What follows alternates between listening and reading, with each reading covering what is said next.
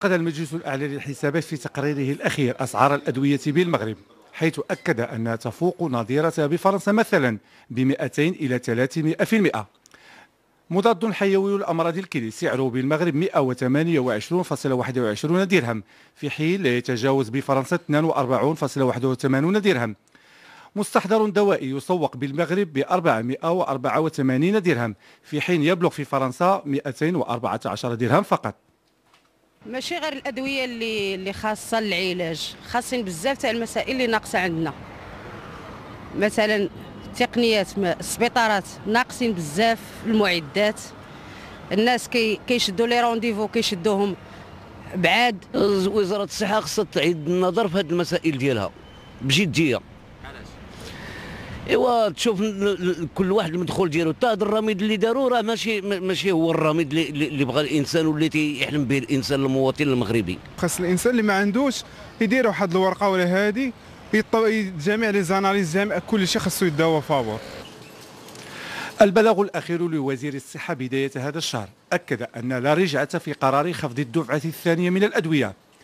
قرار يراه المهنيون ضروريا لكنه يبقى غير كافي لتسهيل الولوج إلى العلاج. كاين آه، المراكز الصحية العمومية كاين القطاع الخاص هو المصحات كاين كاين آه، أطباء في الممارسة ديالهم كاين آه، بعض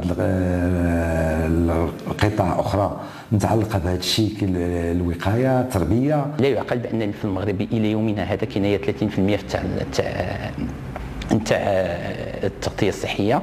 إلى جينا نقارنوا بالدول المجاورة ناخذوا الدول من هنا حتى للسعوديه راه أضعف أضعف التغطيه هي الصحيه هي المغرب. هذه وكاينة واحد النقطة واحدة أخرى هي لا تي في الضريبة على القيمة المضافة. الضريبة على القيمة المضافة كاينة غير في المغرب. قبل تشري الدواء خصك تمشي اولا عند الطبيب. خص إلى عطاك تحليلات ولا الراديو خصك ديرو. هاد هاد المسائل كلها مكلفة. اذا ما خصناش نختزلوا الصحة كلها في الدواء. 376 درهم فقط هو حجم استهلاك المواطن المغربي من الدواء سنويا. علما أن المغرب اختار منذ الاستقلال سياسة صناعة الأدوية حيث أضحى اليوم من الدول المصدرة. لكن غلاء الأثمنة يطرح إشكالات تنظيمية وقانونية. يجب أن ترافق قرار خفض الأدوية.